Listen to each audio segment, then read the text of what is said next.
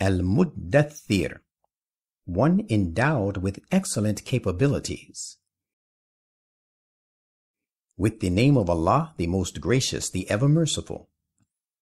O you who have been endowed with excellent capabilities, arise with the divine message and warn, and your Lord do announce his supremacy, and purify your clothes and your heart. And idol worship, spare no pains to exterminate it and shun all uncleanliness, and bestow no favor seeking to get more in return. And endure your trials with perseverance for the sake of your Lord. And the day the trumpet of the prophet's call to the people is sounded, that will be a day full of woe and distress for the opponents of truth, for this day will spell final defeat of disbelief. For the disbelievers, it will not be easy to behold the complete triumph of truth. Leave me alone to deal with him whom I created, to whom I gave abundant wealth, and the sons that remained present with him and I provided for him all necessary equipment. Yet he covets that I should give him more. Certainly not, for he has been a stubborn opponent to our messages. Rather, I will inflict on him an increasingly overwhelming torment. Lo, he pondered and planned. Ruin seize him. How maliciously he planned. Again, ruin seize him. How maliciously he planned. Then he looked about to give his calculations and planning another thought. Then he frowned and scowled in disdain. Then he turned back in scorn and waxed proud, and said, This Quran is nothing but an age-long magic handed down by tradition. This is nothing but mere words of a human being. Soon I shall cast him into the hellfire. How should you realize what the hellfire is? It spares none. It leaves nothing unconsumed. It scorches the face, the skin, and the body. Nineteen wardens are appointed over it. None but angels have we appointed as wardens of the hellfire.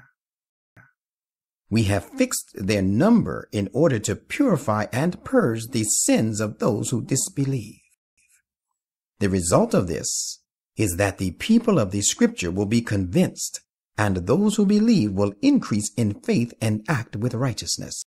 And those who have been given the scriptures as well as the believers may both attain certainty and will not be misguided. And the people with diseased hearts and the disbelievers will say, What does Allah mean by such an illustration? Thus does Allah forsake him who wishes to go astray, and guides him who wishes to be guided. And none knows the number of the host of your Lord but He, and this Quran is nothing but a means for human beings to rise to eminence.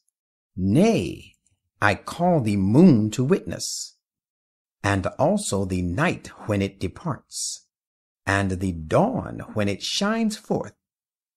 Verily it, the fire of hell, in itself is one of the great calamities, a warning to humankind.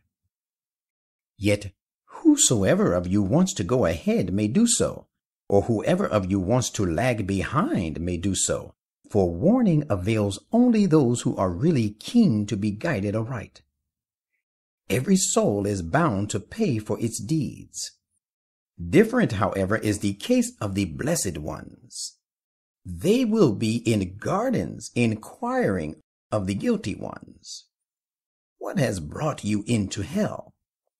They will reply, We were not of those who offered prayers, nor did we feed the poor, and we indulged in vain talk along with those who indulged therein. And we always cried lies to the day of requital, till death overtook us. That is why the intercession of the intercessors will be of no avail to them. What is wrong with them, then, that they are thus turning away from the exhortation of the Quran?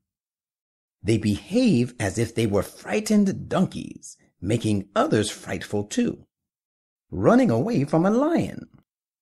The fact is that every one of them desires that he should individually be given open scripture direct from heaven.